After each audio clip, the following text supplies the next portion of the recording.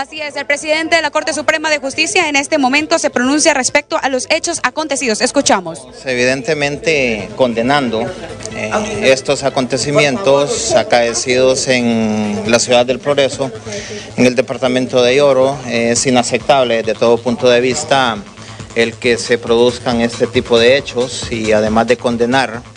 estos hechos lamentamos eh, el fallecimiento de eh, miembros hondureños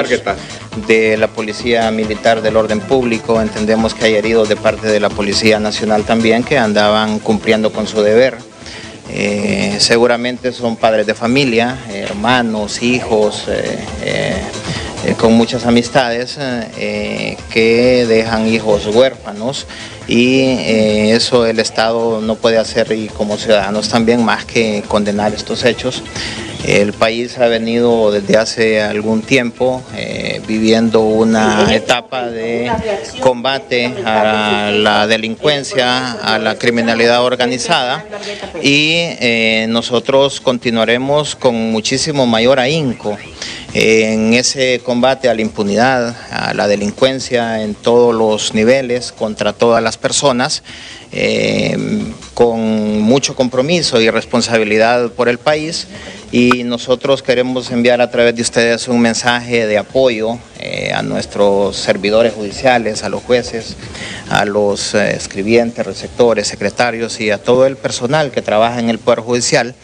que más allá que por un salario lo hacen por amor al país, por amor a Honduras y deben de encontrar en nosotros mm, eh, a personas que eh, les estamos apoyando, que nos solidarizamos no solo con los que trabajan en el edificio judicial en el Progreso y Oro, sino con los cerca de 500 miembros eh, de los juzgados y tribunales del país. Así es de que nosotros, eh, reitero, condenamos estos hechos, lamentamos que hayan personas fallecidas y exigimos también una eh, investigación adecuada, pertinente,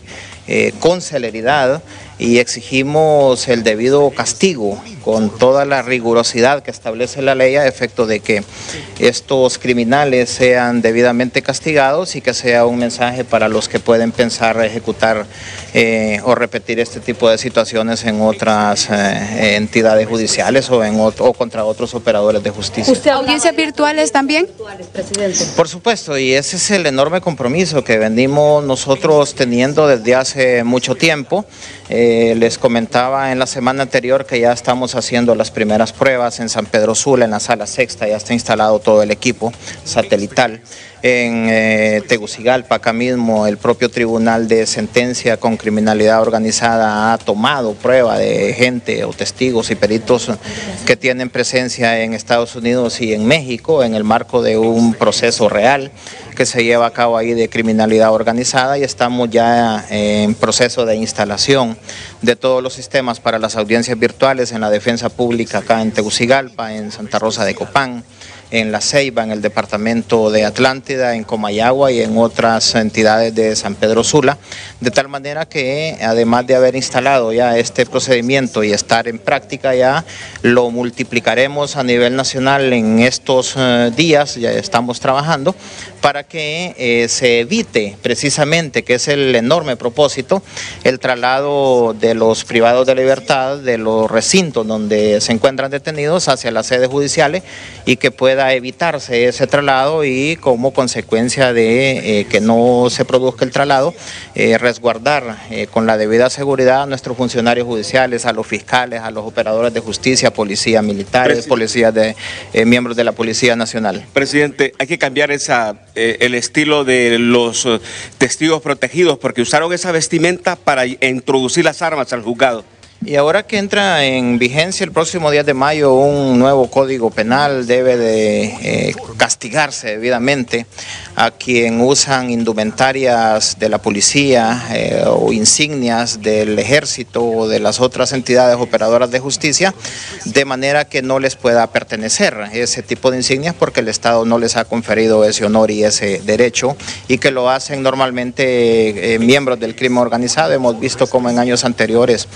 han agredido la vida de personas o han lesionado personas montando operativos falsos en las carreteras, por ejemplo, cuando no son policías ni miembros eh, del Estado como operadores de justicia los que realizan ese tipo de operativos. Debe de actuarse con toda la rigurosidad posible y eh, viendo en este caso en particular que la Policía Nacional ha eh, ofrecido una recompensa de un millón de lempiras a quien proporciona información eh, y resguardándose por supuesto la identidad de quien lo haga, nosotros invitamos a la ciudadanía a que pueda contribuir con alguna información que pueda tener y dar con el paradero de estos criminales. Señor presidente, de hecho, organismos de derechos humanos ya están pidiendo esto de las audiencias virtuales para la seguridad de los demás operadores de justicia. ¿Y qué coordinación ha hecho ya para aumentar la seguridad en los juzgados, en los tribunales? Claro, en el tema de las audiencias virtuales, recordemos que venimos eh, con una propuesta y el órgano legislativo lo ha aprobado hace alrededor de un año del artículo 127 subsiguiente del Código Procesal Penal y en el segundo semestre del año pasado el Pleno de Magistrados aprobó el reglamento para las audiencias virtuales y hemos estado instalando, como les mencionaba, algunas salas para ese cometido. En el tema de resguardo a los edificios eh, del Poder Judicial, recordemos que nosotros tenemos 135 edificios a nivel nacional entre juzgados de paz, pasando por letras, ejecución, sentencia y cortes de apelaciones y estamos en constante coordinación con las fuerzas militares, con el ejército, con el jefe del Estado Mayor Conjunto, con el director de la policía, el ministro de Defensa y Seguridad, a efecto de que puedan proporcionarnos el personal adecuado y el personal básico, más allá de em, eh, personal de seguridad que nosotros tenemos como guardias y alguaciles, en el caso de Progreso habían algunos ahora, eh, miembros del Poder Judicial a quienes según nos informaron les, eh, en el marco de esta agresión, eh, les sustrajeron las armas los delincuentes y se las llevaron. Eh, nosotros estamos siempre en constante, reitero, comunicación y coordinación con las autoridades para que puedan proporcionarnos siempre el apoyo adecuado en seguridad. Acá tenemos el edificio el, del circuito de extorsión y hay otras entidades de competencia nacional en el circuito de corrupción, el circuito de criminalidad organizada que nosotros estamos siempre pidiendo, reitero, el apoyo en seguridad para todos estos mecanismos. Presidente, por último, ¿tienen información ustedes si en efecto entraron a la sala donde se encontraban los jueces en esta audiencia o fue al momento de sacarlo? La información que manejamos, que porque inmediatamente eh, al conocimiento de los hechos nos comunicamos con algunos jueces eh, del progreso, entre ellos el juzgado de ejecución,